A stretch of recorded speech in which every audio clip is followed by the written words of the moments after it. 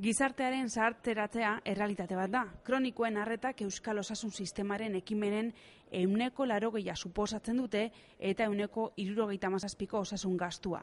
Datu hauek sistemaren erreformak beharrezkoak direla giaztatzen dute gizarte jasangarri bat lortzeko.